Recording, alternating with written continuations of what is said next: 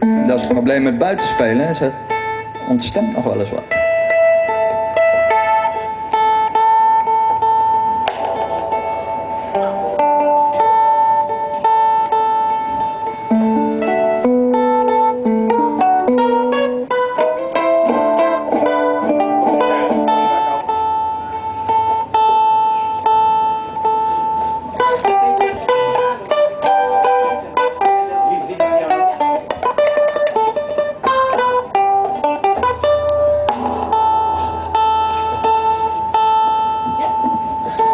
hello. hello.